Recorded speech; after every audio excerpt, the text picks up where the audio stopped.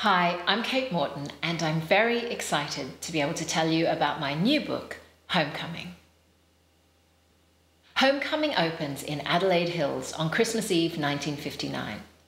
At the end of a scorching hot day, on the edge of a creek in the grounds of a grand and mysterious house, a local delivery man makes a terrible discovery.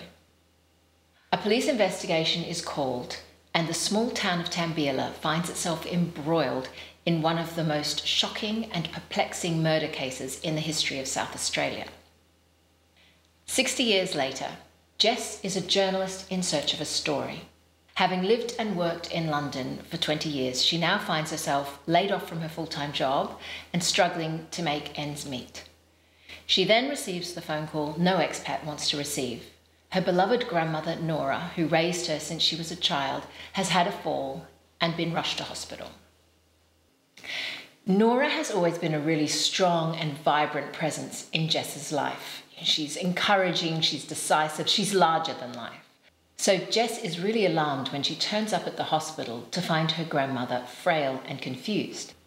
Even more alarming is when she learns that Nora fell when she was climbing the stairs to the attic of her house, the one place Jess was forbidden from playing when she was a child. At a loose end in Nora's house, Jess does some digging of her own. In Nora's bedroom, she discovers a true crime book outlining the police investigation into a long buried tragedy the Turner family tragedy of Christmas Eve, 1959. It's only when Jess skims through the book that she discovers a shocking connection between her own family and this once infamous crime, a crime that has never been resolved satisfactorily. And for a journalist without a story, a cold case might be just the distraction she needs. Homecoming is a big book about family and storytelling.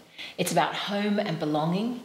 It's about the secrets we keep and the lies we tell and the healing power of the truth.